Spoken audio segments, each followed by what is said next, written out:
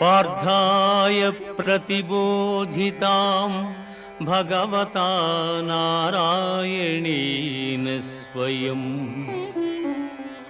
व्यासेन ग्रथितां पुराणमुनिना मध्ये महाभारतम्।